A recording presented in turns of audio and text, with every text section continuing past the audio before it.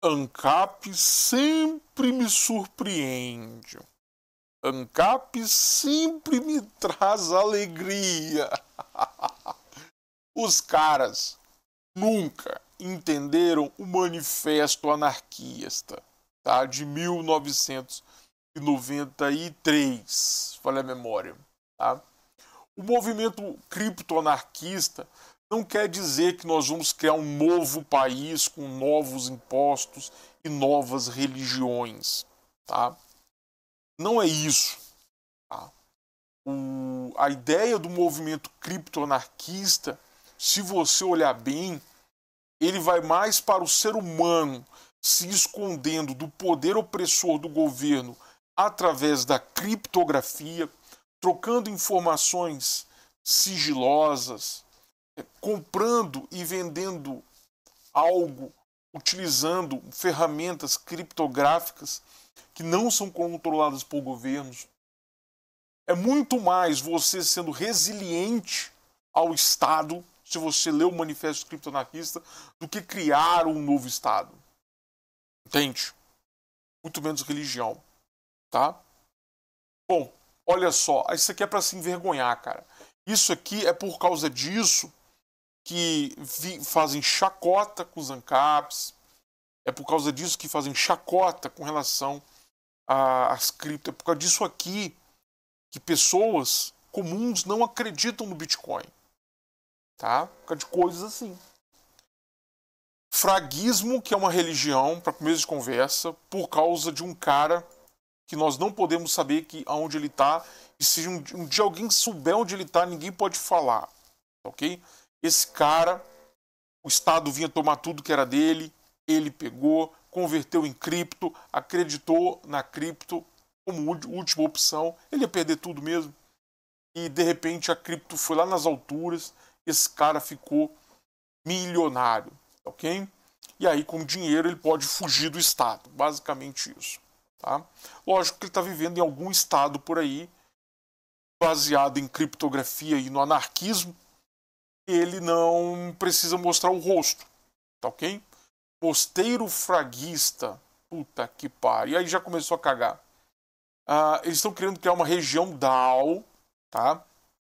Que é uma área né, gerida por uma organização autônoma descentralizada, um estado dentro de um estado, onde as decisões sobre a organização e desenvolvimento local seria tomada pela comunidade através de mecanismos de governança baseadas em blockchain. Legal, adicionaram pelo menos blockchain aqui no poder político exercido.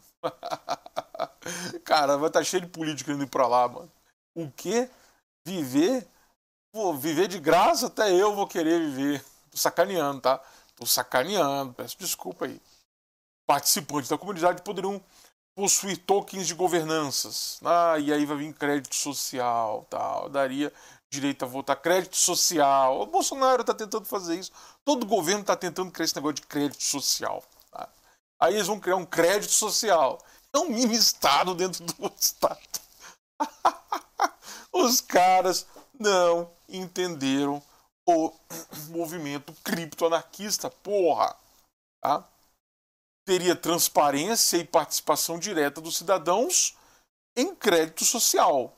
Está escrito aqui.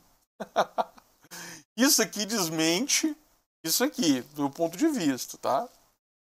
Meu ponto de vista, sim. Isso tornar a gestão de áreas mais eficientes e justas. Olha, cara, vou te explicar. Vamos falar de eficiência. Eficiência. Eficiência. É, eles vão chegar no, no seguinte ponto.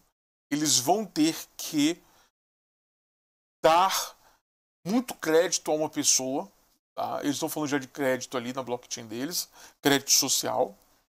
E essa pessoa vai ter que tomar as decisões bem mais rápidas e eficientes. E aí, posso ser sincero, a justiça é a justiça que eles acreditam na blockchain, que são crédito social.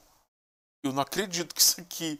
Eu tô acreditando que isso aqui vai caminhar para um totalitarismo, cara. Sério mesmo, do jeito que esses caras vão. Bom, o mini totalitarismo dentro de um totalitarismo maior. Vai ser foda, cara. Nos Estados Unidos tem a CityDAO, tem a Próspera que foi fechado, né? E outras outras, tá? Vamos voltar para o Brasil, tá? Cara, você não pode falar muito sobre esse cara, tá? O mínimo que você tem que saber é que ele conseguiu fugir do Estado, porque o Estado foi tomar tudo que era dele, ele trocou em ativos, em criptoativos, vendeu a zica, vendeu a zica que ele tinha, pegou dinheiro e deu o pé na bunda desse Estado. Simples assim, tá? Essa é a história. Se um dia você souber onde ele está, você nunca vai falar onde ele está. Beleza? Lembre-se que ele conseguiu fugir.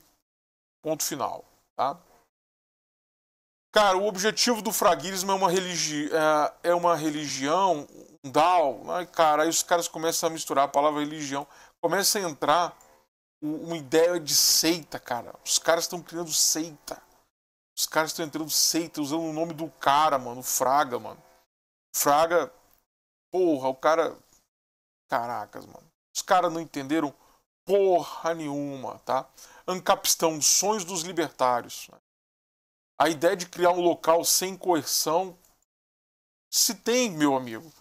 Blockchain de crédito social, quem diz que não tem coerção, meu amigo? É um sonho antigo de toda a comunidade libertária. Mas muitas dessas tentativas esbarraram em complicações como Estado. Próspera, Ilha das Rosas, todas se fuderam, todas se deram mal ah, mas nós vamos produzir o nosso próprio tomate. Tá bom. Você vai viver de tomate. Ah, não, nós vamos produzir nossa própria energia. Tá bom. Nós vamos produzir nossa própria internet. Vai produzir sua própria internet? Pô, tá bom. Eu vejo os caras falando isso, meu amigo. Os caras não entenderam nada.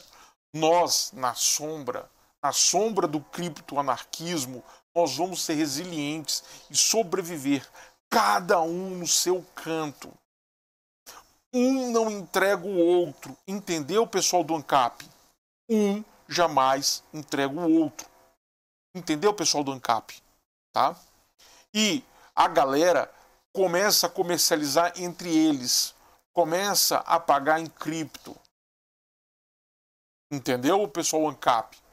E tem que dar um jeito de transformar essa cripto em algum recurso que ainda é aceito por outras pessoas que estão fora dessa, como eu posso dizer, esfera criptográfica. Tá? Basicamente, esse é o caminho. Ali que é o problema, na hora que você converter as suas cripto em algo que alguém que está fora da minha esfera criptográfica, ou seja, do, da proteção da criptografia, é que, infelizmente, eu não produzo pão, eu não, energia eu produzo parte, água eu produzo 100%, mas eu não produzo internet. Então, de algum momento, nem pão. Vou ter que trocar o que eu consigo de cripto, que eu fiz negócio com pessoas de fora do país, para dinheiro em real, para poder então fazer o quê? Comprar o pão e pagar a internet. Tá? Esse, é um, esse é o problema. O criptoanarquismo consegue sobreviver sozinho, como é hoje? Não. Vai conseguir no futuro? Nunca. Nunca. Mas a ideia é viver na sombra da criptografia. Entendeu? Entendeu o movimento ANCAP? Entenderam? Porra. Vai criar uma seita agora, vai.